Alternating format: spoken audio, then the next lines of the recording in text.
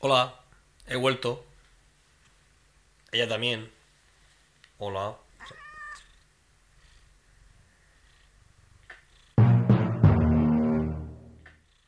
¿Qué? ¿Cómo va todo?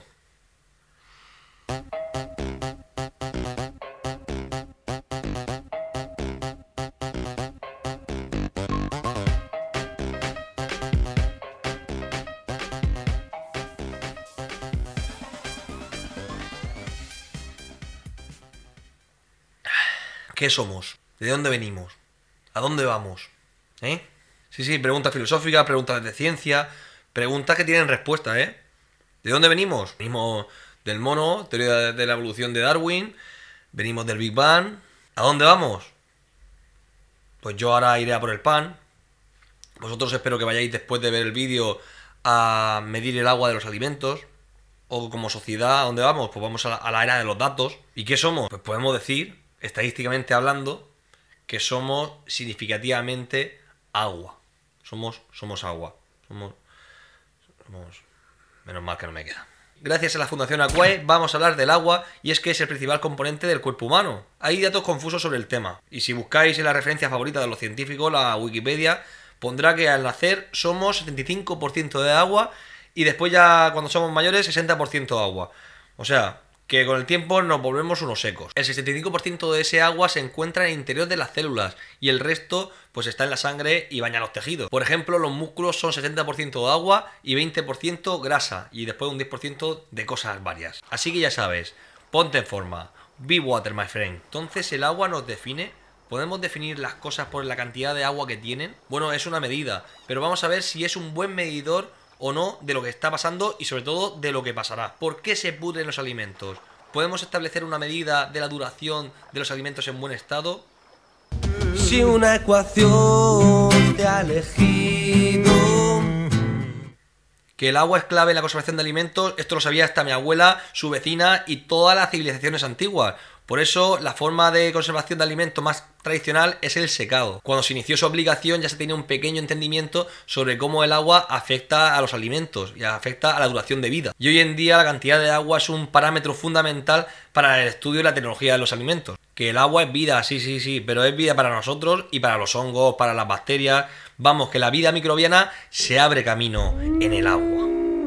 La cantidad de agua está muy bien, pero con el tiempo ha emergido un nuevo medidor sobre cómo el agua impacta en la calidad y la inocuidad de los alimentos. La actividad del agua. Ahora sabemos que la cantidad de agua es menos relevante que el comportamiento específico del agua. La cantidad de agua y la actividad del agua se relacionan de forma no lineal con esta curva que veis, que se llama isoterma de absorción de la humedad. Ahora tenemos un parámetro más moderno, más directamente relacionado con la duración del alimento. El parámetro más importante para la inocuidad alimentaria es la actividad del agua, que se define así. Es la presión de vapor parcial del agua en una sustancia dividida por la presión de vapor parcial del agua pura. Por esta definición, el agua destilada pura tiene una actividad del agua igual a 1. Para entender esto completamente tenemos que reconocer que gran parte del agua de los alimentos estará unida a iones, a superficies de grandes moléculas o a estructuras celulares. A este agua se le llama agua no libre, porque no es libre para soportar el crecimiento microbiano o participar y apoyar en reacciones químicas y enzimáticas o procesos de deterioro. Generalmente podemos definir la actividad del agua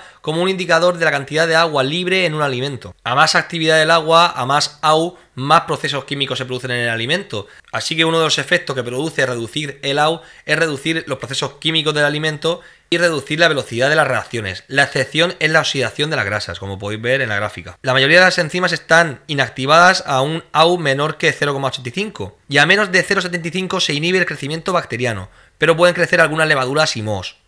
A menos de 0,6 todo el crecimiento se inhibe. En términos de nutrientes, la AU reducida reduce también la pérdida de vitaminas C, E y B1.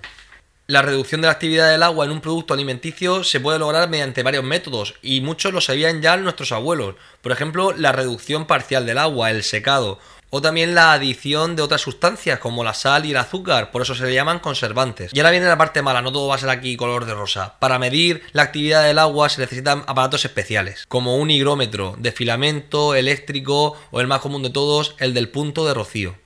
Sí, el rocío, el de las mañanas. Y con esto podemos medir la duración de un alimento. Y es que un estudio de Mann, Jones, Adrian de la editorial Springer publicó una relación entre los días de duración de un alimento en buen estado y la actividad del agua de ese alimento. Todo esto a 21 grados centígrados. La estimación del número de días sin proliferación microbiana, que sería un poco la fecha de caducidad, viene dada por esta fórmula tan bonita. Mira.